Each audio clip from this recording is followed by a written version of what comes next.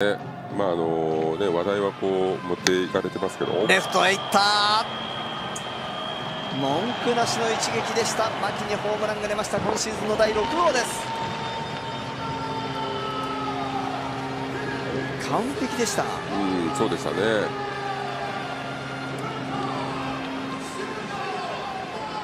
ベイスターズルーキー牧の一発で追いつきました。1対1